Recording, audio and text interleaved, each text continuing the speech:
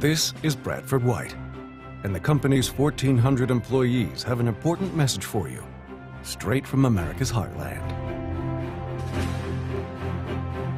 We said we couldn't compete here in the U.S. Proved them wrong, didn't we? We sure have. No handouts, no bailouts, just hard work and dedication. We gotta sweat the details because the customers deserve quality and that's what we give them. I heard our competitors are building water heaters down in Mexico. I don't understand it. We build them better right here in America. American made. American owned. Wholesale only.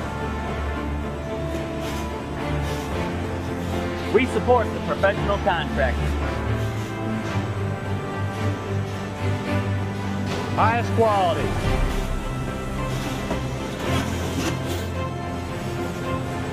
Why would you buy any other brand? Made in America. Nobody builds them better. Now that's what I'm talking about.